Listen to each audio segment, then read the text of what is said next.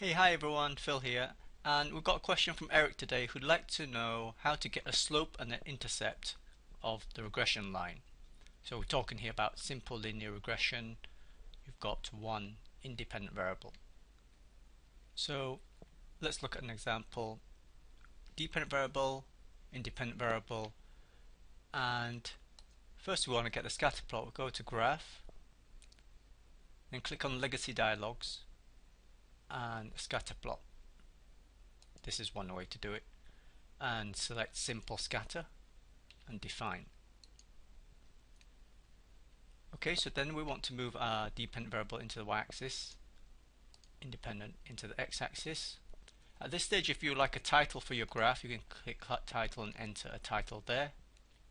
And then we just click on OK.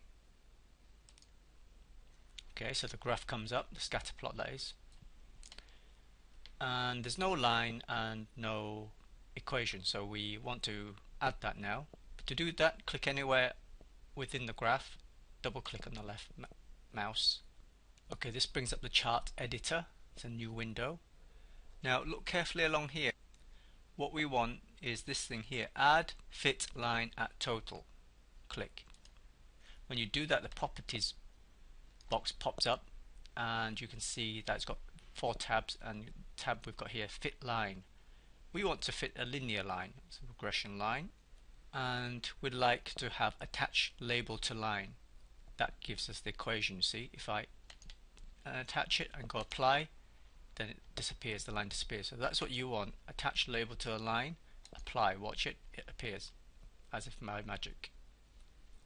And then you go close if we look at the line here, you can't, uh, you can't. Uh, I mean, sorry. If you look at this equation here, you can't shift it around. But um, this intercept, if you want to change it, it says 1.06 times 10 to the 2. Double click on that, and then a properties box comes up again. Want to click on reference line, and you can see it says custom equation. This is the line it's writing down. We don't want e to the 2 there. That's same as times 10 to the 2 just looks better, you know. So 106 and apply. And then it'll change. Okay, so we've got the line and the equation, uh, but to be honest, I don't like the way it's uh, presented here. Okay, I can't actually move this line. I mean, sorry, move this box. So I'll show you other way to do it.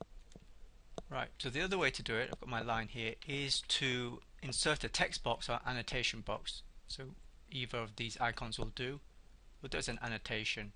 You can play around with it, just annotation's got slightly smaller box. It looks like it fits nicer. So we just had some value. I don't really care what it was now. It's uh, gradient was about 13. X. So that's our equation. Um, that's fitted Y. Uh, I'm going to write Y hat. It's not the true y, value of Y. Okay, and then to shift it, you just click in this box like this, and then just make sure you've got these arrows, and then you could just pull it around wherever you want like this. And then click outside. Okay, let's try the text box and see how that looks. Delete that. Right now I'm going to click on the text box, the box. Do the same thing.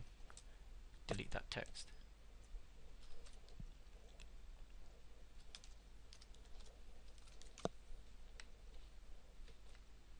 Perhaps that you prefer this.